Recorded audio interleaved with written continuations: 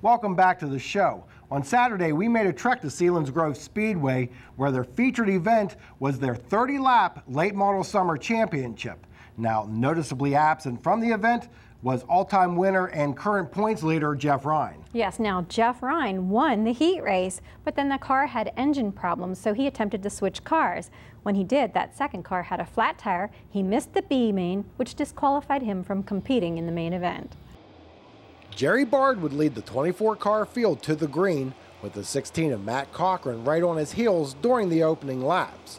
A couple of laps in, we have this battle for third between the three of Tim Wilson, 06 of Mike Lupfer, 24 of Dylan Yoder, and Colby Fry in the 32. Fry rockets by on the outside to take the position. A caution on lap 5 sets up this restart.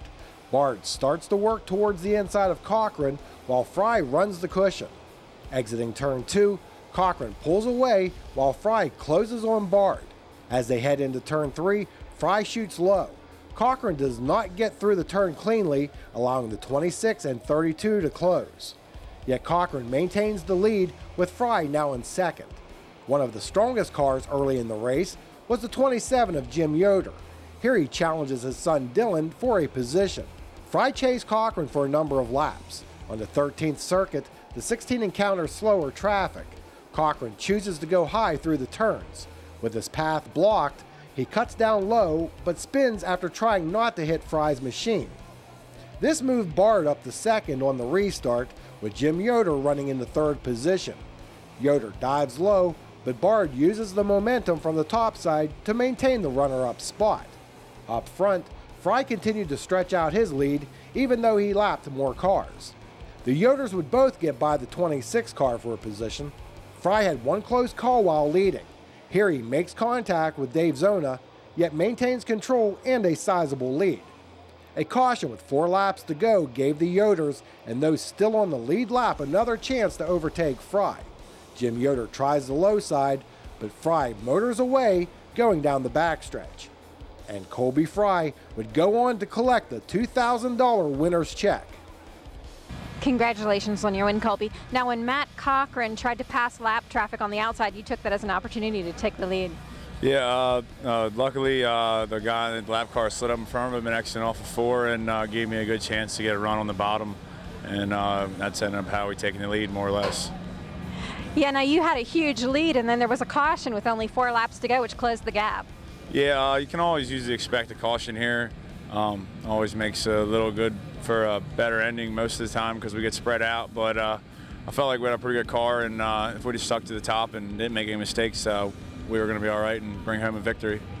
Now you've won quite a few championships this year. Yeah, uh, we uh, got the summer and spring championship, both of them here in both the ports so far this year. So it's been pretty good so far this year for uh, wins here in Port and Selinsgrove. So do you feel that all these championships have prepared you for the World of Outlaws for Labor Day weekend? Uh, yeah, hopefully. Uh, I mean, that's going to be a really good race. Uh, a lot of good guys will be coming in, and time trials will be critical. Uh, you need to get a good time lap. So if we can knock down a good time trial lap and start up front, I think we have uh, just as good a chance as any of those guys that are taking home the cash. So. Excellent, and congratulations again. Thank you. Have a good night. Jim Yoder finished second ahead of his son Dylan. Jim Bernheisel came home fourth, with Tim Wilson finishing fifth. In the 358 sprint main event, the 100 of Mike Walter would use the high side of 1 and 2 to take the lead from pool sitter Brian Garland. Going down the backstretch, the 29 of Derek Stewart begins to close on Garland. As they go through 3 and 4, Garland bobbles on the bottom and Stewart shoots by to take the runner up position. The 3 of Pat Cannon is always a threat to win. He started in the 12th position, yet made it to 6th by lap 5. There was a lot of slicing and dicing in the top 5. Here, Josh Beard in the number 5 gets by Stewart for the runner up position. When Walter came upon the 6th of Bill Sherman, he went to his outside while Beard dove low and took over the top spot. There were some great battles within the top 5. While Cannon chased Stewart, he also had to contend with the 76 of Larry Kelleher. A late caution set up a two lap shootout. On the white flag lap, Beard still led with the points leader Jason Schultz in the number two, running second.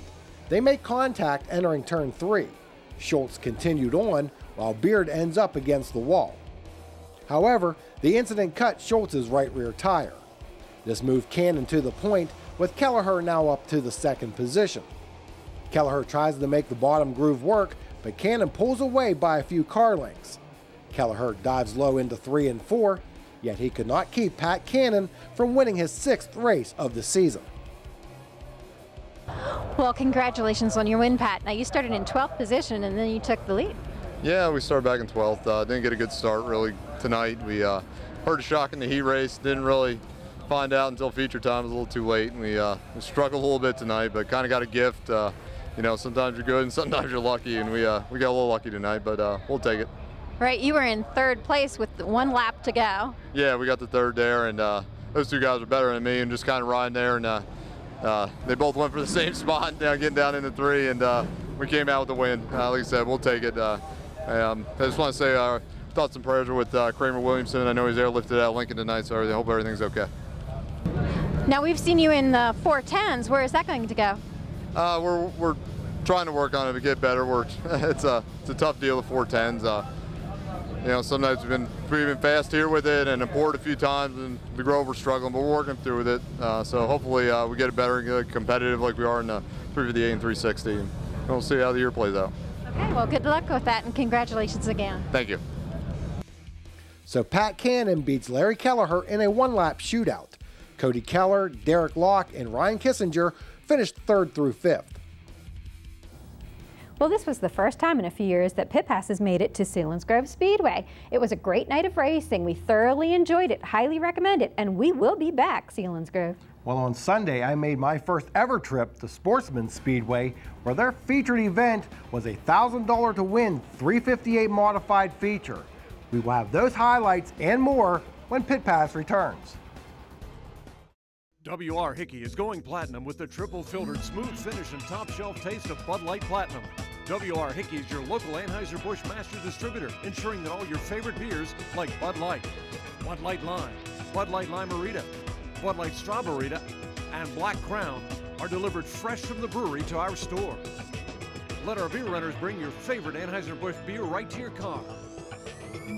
WR Hickey Beer Distributor, East College Avenue State College.